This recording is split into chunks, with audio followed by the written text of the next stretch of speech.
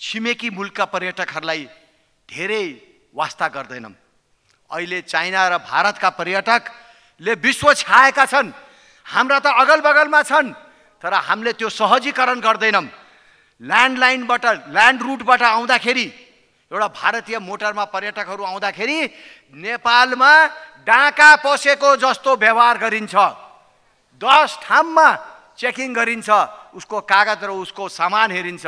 आजकलको जमानामा नेपालैमा आउनु पर्ने छैन। जहाँबाट बसेर जहाँ गए पनि हुन्छ। त्यस कारणले हामीले पर्य हामीले आउने हाम्रो पर्यटकहरूलाई एउटा सम्मानका साथ इज्जतका साथ हाम्रो देशमा स्वागत गर्न पर्ने त्यो आवश्यकता छ र यो कुरा मैले पटक पटक हाम्रा बोर्डरका सिडिओ र प्रहरीहरूलाई भन्दै आएको छु।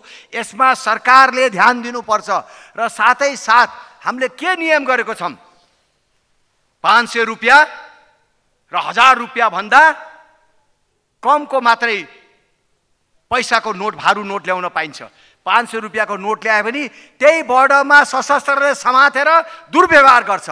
अनि हामीले पर्यटनका कुरा गर्छौँ यी सब फाल्तु कुरा हो। मिलाउनुहोस् प्रधानमन्त्रीज्यू।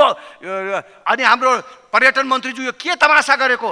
आजकलको जमानामा पाँच सय रुपियाँको नोट जेबमा नहालेर आउन् भन्न के खोजेको? हामीले के गर्न खोजेको?